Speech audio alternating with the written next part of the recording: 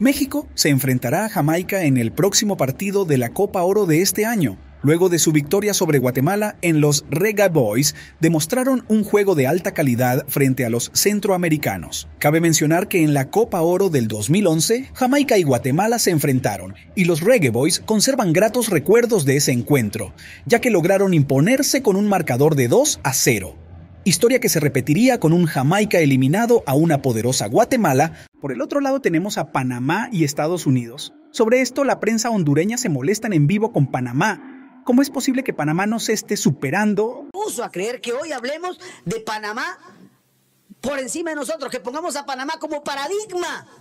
Cuando hace 20 años decían Honduras, la vemos inalcanzable, Honduras, tirarnos una soga, enseñarnos a jugar al fútbol. Y hoy Hoy los panameños, que son potencia del béisbol, nos enseñan a jugar al fútbol. Me quiero morir. Si solo ellos saben jugar béisbol bueno, mi gente, ¿qué opinan ustedes? ¿Creen que Panamá será la sorpresa? Déjalo aquí abajo. Recuerda que nosotros te informamos todos los días.